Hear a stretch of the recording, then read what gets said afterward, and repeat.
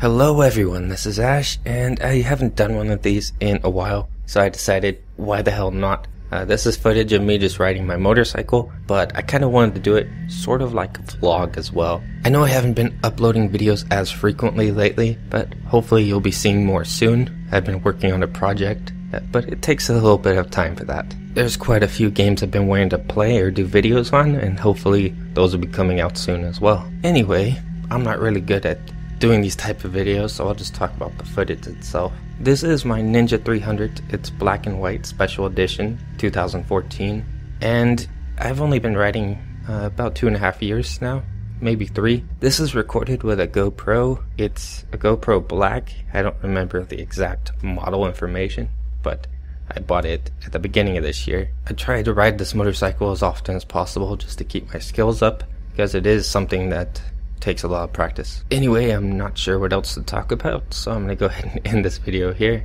Thanks for watching and keep an eye on the channel. I'll be having new content out soon.